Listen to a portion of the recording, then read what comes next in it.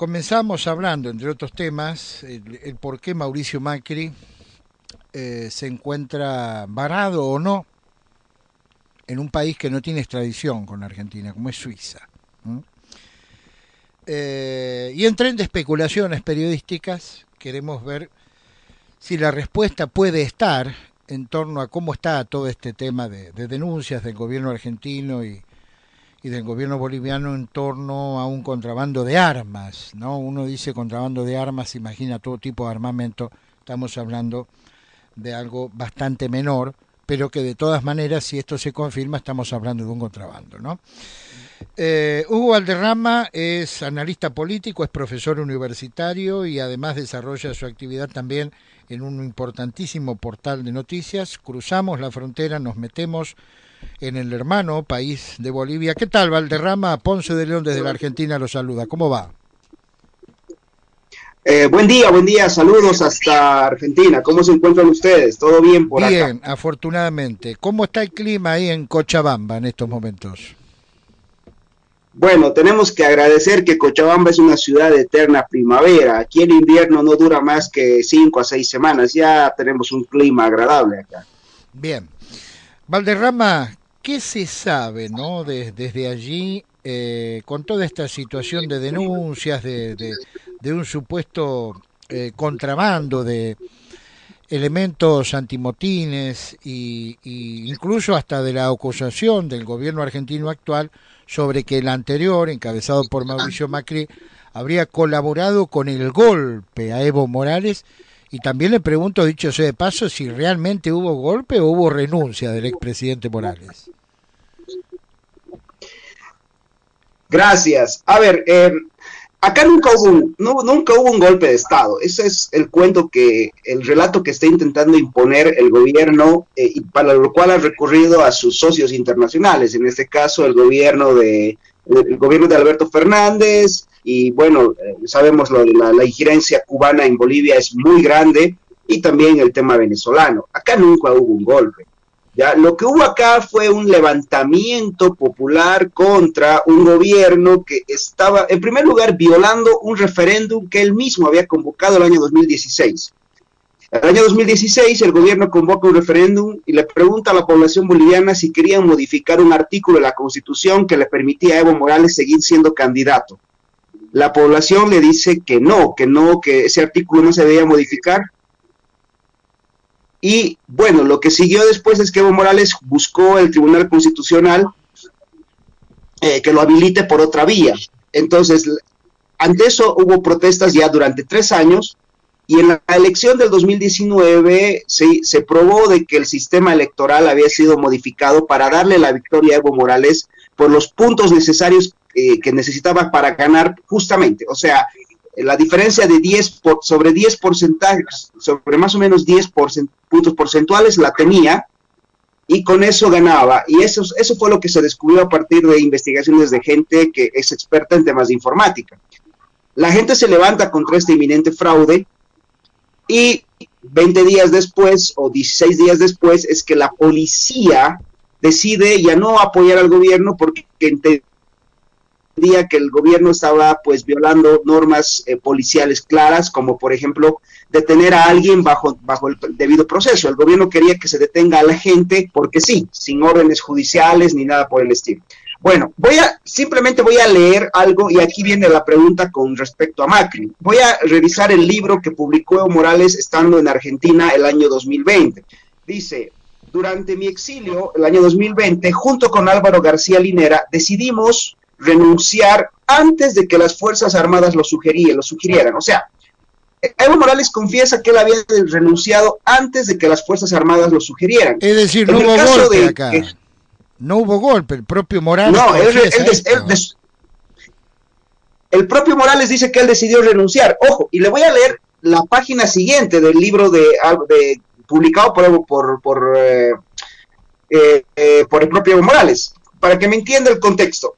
El gobierno argentino dice que Macri, eh, voy a leer primero el memorial que llegó aquí a Bolivia, donde, donde, se, donde el gobierno argentino eh, pues eh, involucra a Macri. Las palabras textuales son, el gobierno argentino de, señala que las Fuerzas Armadas se levantaron sediciosamente contra un gobierno constitucional. Eso es lo que dice el gobierno argentino, para supuestamente enjuiciar a Mauricio Macri. Pero ¿qué dice el propio Morales en su libro? Le voy a leer la página siguiente. Dice lo siguiente. Ya, el 7 de noviembre, cuando la policía decide amotinarse, le pregunté al general Williams Caliman, el comandante en jefe de las Fuerzas Armadas de ese entonces, y que además era hombre leal a Evo Morales. Ojo, Williams Caliman se, era abiertamente leal al gobierno de Evo Morales, ni siquiera a su institución, ni siquiera a las Fuerzas Armadas, sino al gobierno de Evo Morales. Y la respuesta del general es la siguiente. Señor presidente, no podemos hacer nada porque no tenemos suficientes balas. O sea, según el memorial, el gobierno, el, las, eh, según el memorial que manda el gobierno argentino al gobierno boliviano, da a entender de que las Fuerzas Armadas salieron a matar a todo el mundo, pero el propio Evo Morales, con, primero que confiesa que él había decidido renunciar de su, propia, de su propio puño y letra, si estamos asumiendo que él escribió el libro, ¿no? Porque el libro lo publicó en Argentina. Y páginas, una, la siguiente página, el propio Evo Morales es el que le pide a las Fuerzas Armadas salir a reprimir a una policía que había decidido ya no cumplir órdenes mal dadas y, y a una población que estaba pidiendo su renuncia.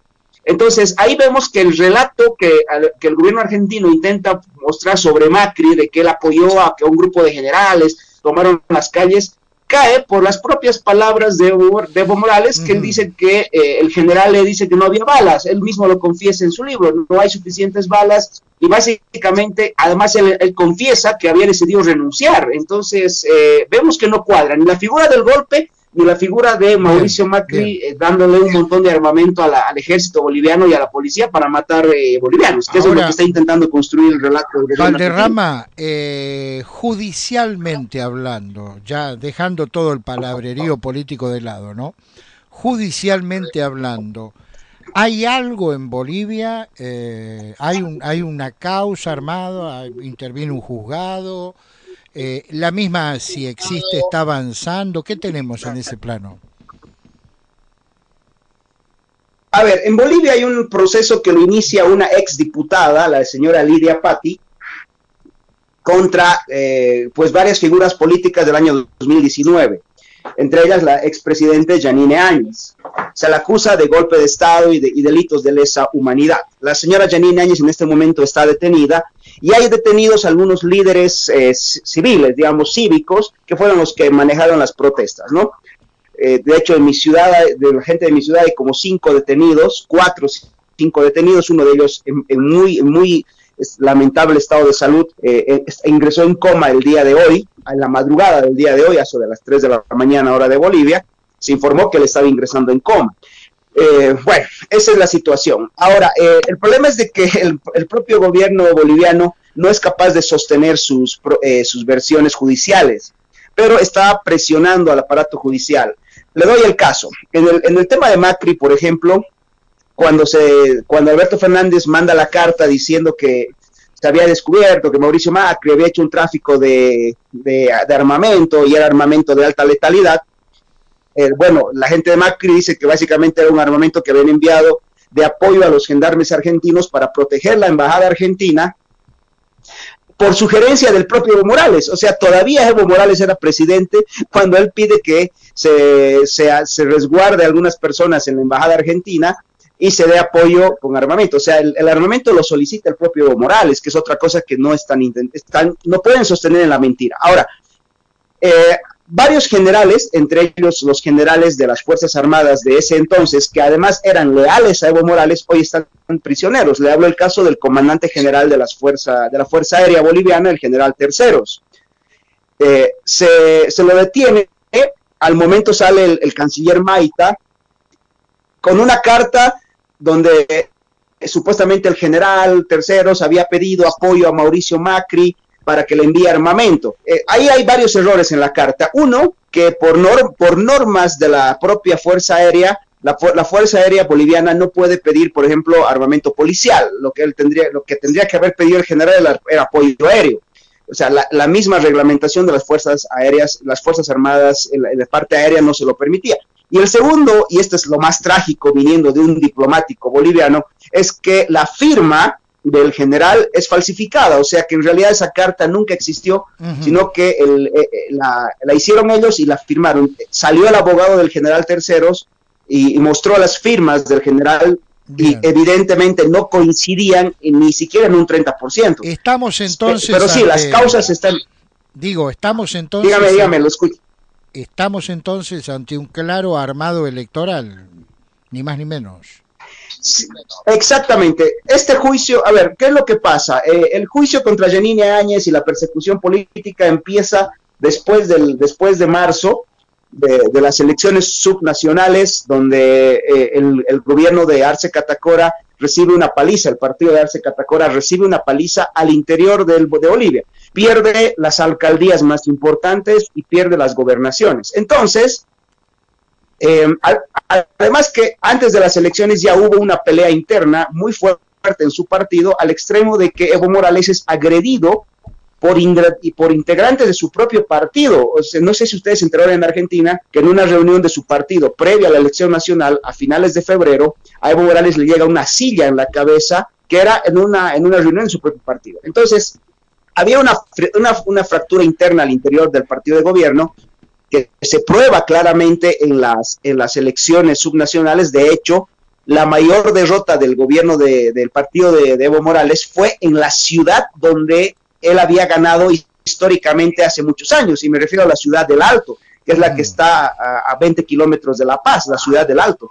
Esa, ahí perdió, pero eh, como en la guerra, eh, la, la, candidata, que era una ex masista, que, que se fue a otra fuerza política, la señora Eva Copa, ganó la elección con casi el 70%. Bien. O sea, eh, esa, esa ciudad la perdió. Entonces, como sinónimo de eh, venganza y mostrar fortaleza, empezaron este proceso de persecución y, y, detenciones contra, contra gente, políticos y, y actores civiles del, de, Hugo, Hugo em, la causa en sí misma, ¿no? Eh, por más que sea muy precaria en materia de de explicar, ¿no? A través de un juicio todo se va a, explicar y, bueno, la misma podría caer. Pero digo, la causa en sí eh, está avanzando. Los medios oficialistas en la Argentina incluso llegaron a decir que se podría pedir la extradición eh, o la captura internacional por parte del gobierno boliviano al expresidente argentino. ¿Esto puede darse o es una fantasía? No, es una fantasía. A ver, le, explico. Eh, hace una semana exactamente salió una encuesta de un periódico nacional que, hizo una encuesta en las ciudades más importantes de Bolivia.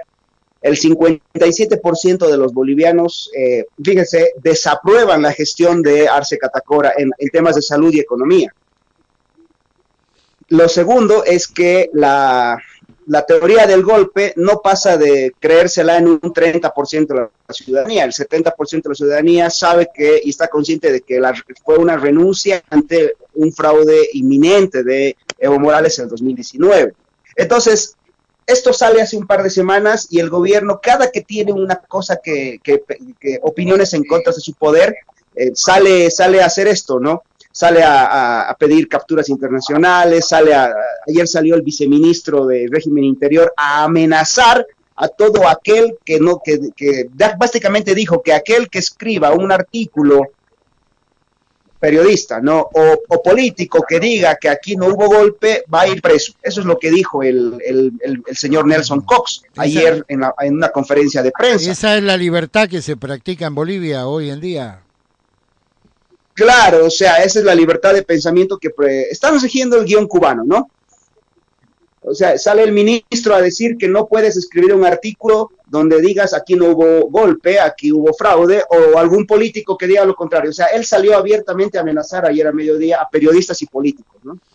Bien, Hugo, para finalizar, eh, ¿qué dice la gente de todo esto? ¿Le, da trascendencia? ¿No le da trascendencia? ¿Cómo, ¿Cómo se para el pueblo boliviano? A ver, eh, la gente que no está con el MAS, que es una gran mayoría, está consciente de que este discurso del golpe no es para convencernos a nosotros, porque nosotros sabemos que no fue así. Tiene mucho que ver, una parte lo tiene que ver con apoyar a la, a la, pues a la imagen muy, muy venida menos de, Alberto Fernández, no sabemos que hay, hay una crisis económica, hay temas de salud en Argentina, lo mismo que en Bolivia. Entonces son estrategias distractivas, pero además hay un elemento muy peligroso y esto, esto es lo que anoche lo analizábamos con otros periodistas. Este discurso de incendiario de que cada vez son los golpistas y los golpistas y los golpistas le está sirviendo a la, a la, al ala radical del partido de gobierno para incendiar los ánimos de la gente violenta. O sea, ellos lo que quieren es tener a la gente violenta de su partido con los ánimos exaltados que eso, es, ese es el mayor peligro que, vemos, o sea que en realidad el propio, hay, hay mucha gente del propio gobierno del presidente Arce Catacora que está en contra del ala radical dirigida por Evo Morales. El problema es que Evo Morales, eh, Arce Catacora responde a Evo Morales, es su hombre fiel, y está alimentando este, este esta ansias de violencia que tiene eh, Evo Morales, porque de hecho hace un par de días amenazó abiertamente al pueblo boliviano, Evo Morales, diciendo de que no va a haber reconciliación mientras no, eh, eh, básicamente mientras él no vuelva al poder, ¿no? Él dijo, no, si no aceptan la forma en la que yo pienso, no va a haber reconciliación. Sale ayer el viceministro a amenazar a todo aquel que no piense como, los, como la gente del MAS. O sea, eh, están, están alimentando el odio al extremo de que lo que quieren es un, un, nuevo, un nuevo enfrentamiento. Esta gente quiere ver arder Bolivia, ante eh, una inminente crisis económica que ya se siente, las mentiras en cuanto a los datos económicos ya no se las cree nadie porque salen a decir que Bolivia tiene empleo, que el crecimiento económico es de tal y hoy día tú ves eh, que la gente, por ejemplo, en mi ciudad, es en lo que va de la, del año y medio de la pandemia se han cerrado más de 300 empresas. En toda Bolivia hay más de 250 mil desempleados. O sea, la realidad les está golpeando la cara y no pueden ya sostener el relato. Entonces todo esto se está acumulando y esta gente lo que quiere es nuevamente ver violencia, especialmente Evo Morales. Cada que él habla, declara una, o hace una declaración violenta contra, contra la gente de Bolivia. Bueno, estamos escuchando un informe más que completo de, desde la República Boliviana a través del analista político y periodista Hugo Valderrama. Hugo, qué gusto escucharlo nuevamente, le agradecemos muchísimo su tiempo, su trabajo y bueno, vamos a, volver a contactarnos cuando la información así lo requiera. ¿eh? Le enviamos un saludo grande y un abrazo a la distancia. Un abrazo grande, pues y esté muy bien y suerte en Argentina. Hasta cualquier momento.